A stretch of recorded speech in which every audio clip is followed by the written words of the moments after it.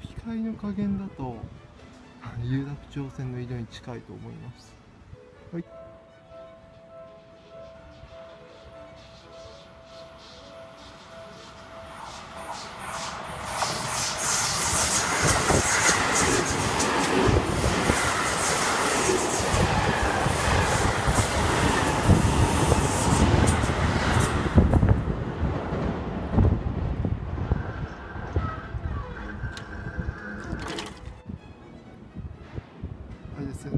宿線でいう中井と同じ構図ですよ。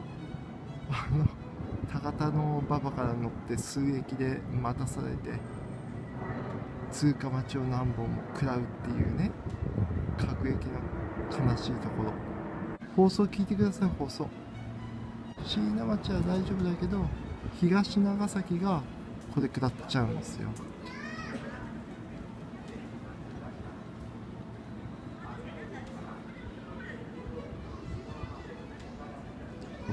システム更新されたんで放送も変わったんですよ。新宿線にはないっすから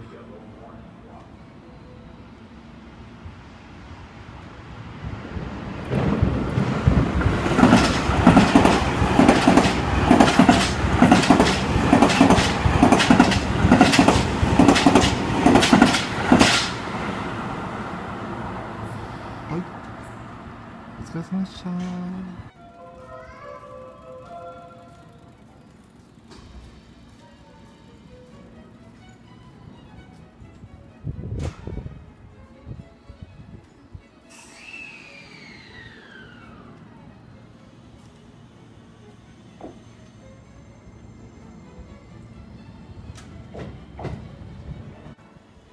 せっかくなんで放送もうちょっと聞きます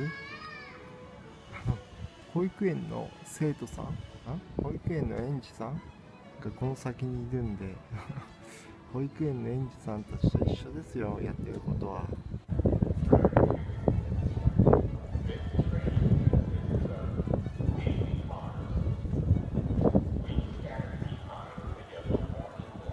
西武新宿線を結構乗ってる方からするとなんじゃこりゃって思いますからね。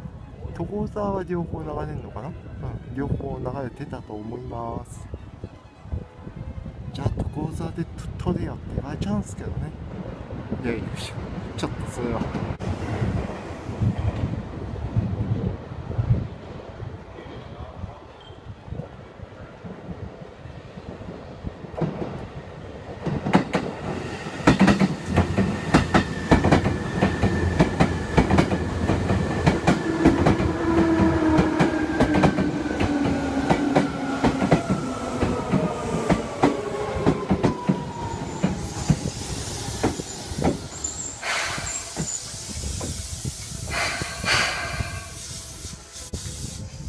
買いそうなんですよ。